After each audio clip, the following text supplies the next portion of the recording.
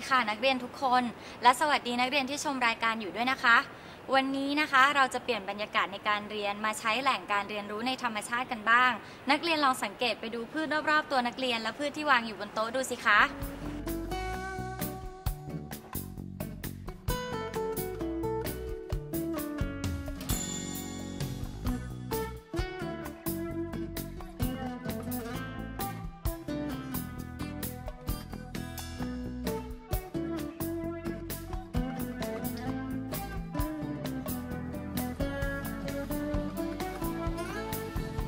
ค่ะ แล้วนักเรียนคิดว่าพืชเจริญเติบโตได้ดีไหมคะ ดีค่ะ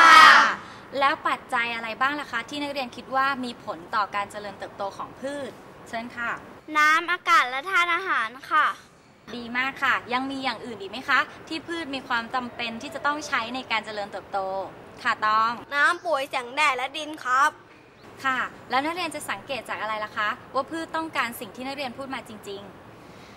ชิญค่ะ มีการรดน้ำใส่ปุ๋ย และปลูกไว้ในที่แสงแดดส่องถึงค่ะ ค่ะ จริงๆ แล้วพืชยังมีอีกหลาย ๆ อย่างเลยนะคะ ที่พืชต้องการในการเจริญเติบโต แต่เดี๋ยวคุณครูจะให้นักเรียนไปชมวิดีทัศน์ เพื่อจะหาคำตอบด้วยตัวเอง แล้วระหว่างที่ชมนักเรียนควรจะทำอะไรคะจดบันทึกค่ะ ใช่ค่ะ นักเรียนควรจะจดบันทึกเพื่อจะหาคำตอบด้วยตัวเองนะคะ ค่ะสำหรับนักเรียนที่ชมรายการอยู่ นักเรียนทราบไหมคะ ว่าพืชต้องการปัจจัยอะไรในการเจริญเติบโตบ้าง เดี๋ยวนักเรียนก็จะได้ไปชมวิดีทัศน์พร้อมกับเพื่อนๆนะคะ เชิญรับชมได้เลยค่ะ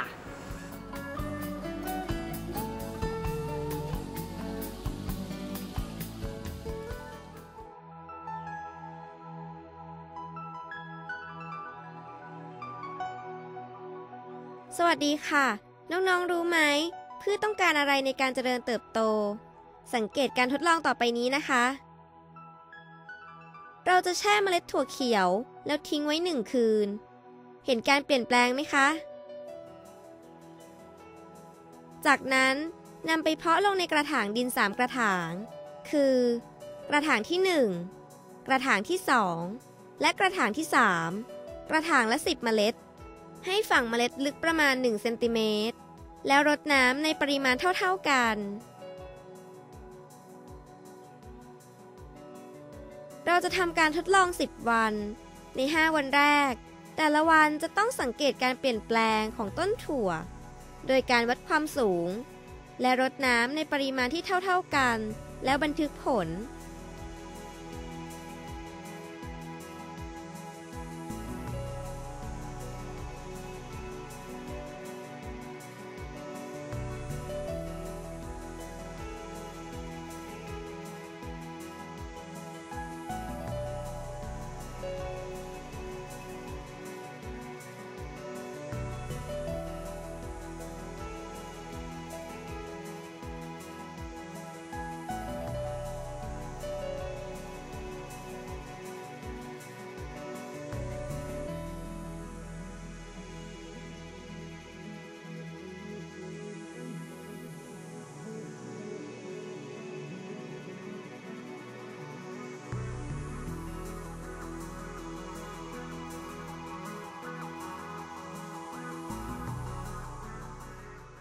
ในวันที่ 6 ถึงวันที่ 10 ของการปลูกต้นถั่ว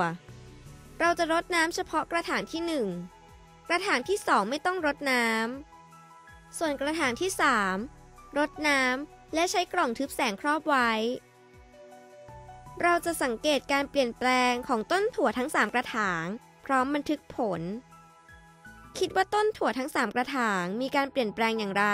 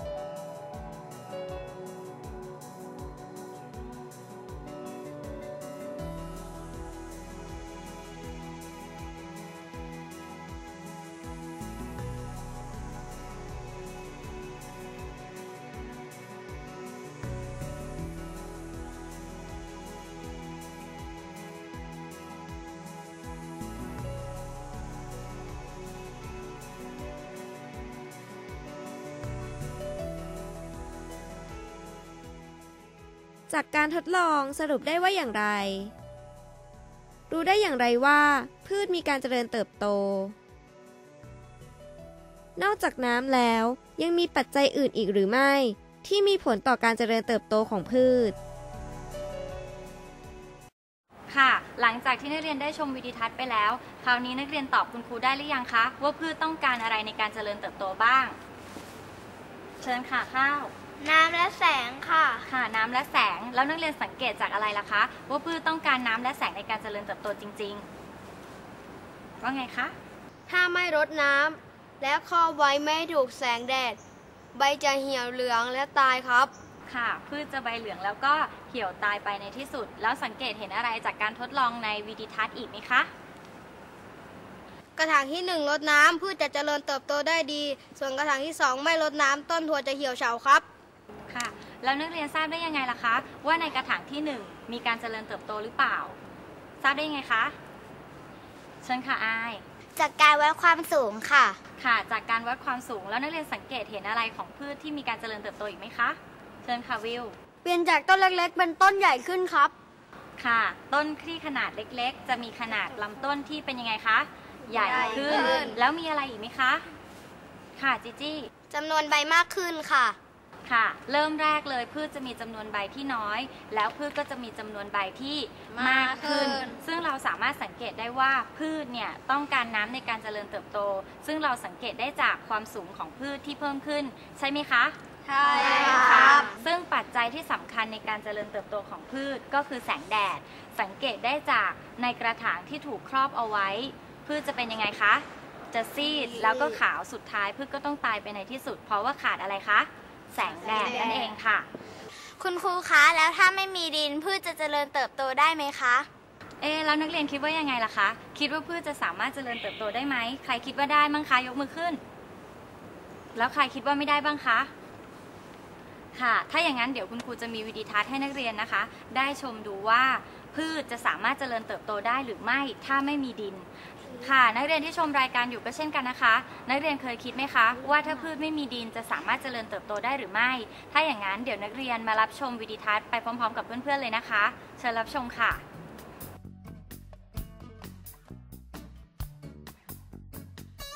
สวัสดีค่ะ น้องๆ คะ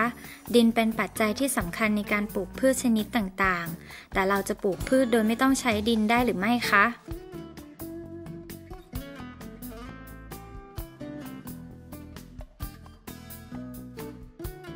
ความก้าวหน้าทางวิทยาศาสตร์ทำให้เรามีวิธีปลูกพืชโดยไม่ต้องใช้ดิน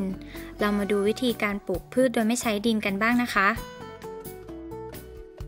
การปลูกพืชโดยไม่ใช้ดินจะมีอยู่ 2 รูปแบบค่ะ คือการปลูกพืชลงในวัสดุอื่น ๆ ที่ไม่ใช่ดิน และการปลูกพืชโดยให้รากแช่อยู่ในสารละลายธาตุอาหาร หรือไฮโดรโปนิก การปลูกพืชลงในวัสดุอื่น ๆ ที่ไม่ใช่ดิน เป็นการปลูกพืชลงบนวัสดุอื่น ๆ เช่น ขุยมะพร้าว ส่วนการปลูกพืชโดยใช้รากแช่อยู่ในสารละลายธาตุอาหาร วิธีการหลักก็คือใส่ธาตุอาหารในน้ำและให้รากพืชแช่อยู่ในน้ำที่มีสารละลาย ซึ่งประกอบด้วยธาตุอาหารที่จำเป็นต่อพืช อยู่ในทุกรูปแบบที่พืชสามารถนำไปใช้ได้ทันที เพื่อทดแทนธาตุอาหารที่มีอยู่ในดินค่ะ ส่วนรากพืชจะไม่มีการเกาะยึดกับวัสดุใด ๆ จึงมักจะใช้ยึดเหนี่ยวในส่วนของลำต้นไว้แทน เพื่อเป็นการรองรับ รากของพืชในการทรงตัวการปลูกพืชโดยไม่ใช้ดิน ส่วนมากจะปลูกในโรงเรือนที่ปิด และสามารถควบคุมสภาวะต่างๆ ที่เกี่ยวกับการเจริญเติบโตของพืชได้อย่างถูกต้อง แน่นอนและรวดเร็ว ให้เหมาะสมกับการเจริญเติบโตของพืช เช่น แสง น้ำธาตุอาหารของพืช และอุณหภูมิค่ะ การปลูกพืชแบบนี้เพื่อลดปัญหาเกี่ยวกับพื้นที่ดินไม่ดี หรือสภาพแวดล้อมไม่เหมาะสมต่อการเพาะปลูก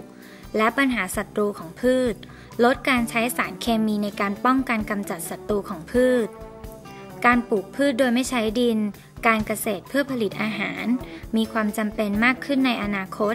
เพื่อลดการใช้ทรัพยากรธรรมชาติค่ะค่ะ จากที่ได้ชมวิดีทัศน์ไปแล้ว นักเรียนก็คงจะทราบแล้วว่า พืชสามารถปลูกได้โดยไม่ใช้ดินใช่ไหมคะ แล้วพืชจะได้รับสารอาหารที่สำคัญในการเจริญเติบโตจากที่ไหนบ้างล่ะคะ เชิญค่ะวิว ใส่แร่ธาตุในน้ำครับ ดีมากค่ะ เราจะสามารถใส่สารอาหารที่พืชจำเป็นต้องใช้ในการเจริญเติบโตลงไปในน้ำได้ เราก็ไม่จำเป็นที่จะต้องใช้ดินในการปลูกพืชใช่ไหมคะ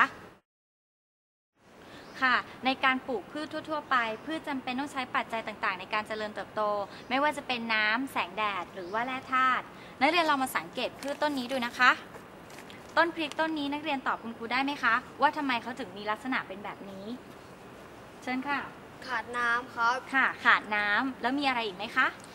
ได้รับแสงแดดมากเกินไปค่ะ ค่ะ ดีมากค่ะ ต้นพริกต้นเนี้ยขาดน้ำแล้วก็ได้รับแสงแดดมากเกินไป และยังขาดสารอาหารที่สำคัญในการเจริญเติบโตด้วยนะคะ เพราะว่าปัจจัยที่สำคัญในการเจริญเติบโตของพืช มีอะไรบ้างนะคะ สรุปอีกครั้งหนึ่งน้ำแสงแดดและแร่ธาตุค่ะ พืชต้องการน้ำแสงแดด แล้วก็แร่ธาตุซึ่งเป็นปัจจัยที่สำคัญมากในการเจริญเติบโตของพืชใช่ไหมคะใช่ใช่ค่ะค่ะ เดี๋ยววันนี้นะคะ คุณครูจะฝากการบ้านนักเรียนไว้หนึ่งอย่างนะคะ นักเรียนลองไปสำรวจพืชในท้องถิ่นของนักเรียนดูนะคะ ว่ามีพืชชนิดไหนหรือไม่ที่ขาดปัจจัยในการเจริญเติบโต ไม่ว่าจะเป็นน้ำแสงแดดหรือว่าแร่ธาตุแล้วในคาบเรียนหน้า เดี๋ยวเราจะมานำเสนอกันนะคะ สำหรับนักเรียนที่ชมรายการอยู่นะคะ นักเรียนก็อย่าลืมสำรวจพืชที่อยู่บริเวณรอบๆ บ้านของนักเรียนดูนะคะ ว่ามีพืชชนิดไหนหรือเปล่า ที่ขาดปัจจัยในการเจริญเติบโตที่สำคัญไปสำหรับวันนี้คุณครูก็ขอฝากไว้เพียงเท่านี้นะคะ ทั้งหมดทำความเคารพขอบคุณค่ะ คุณครู สวัสดีค่ะ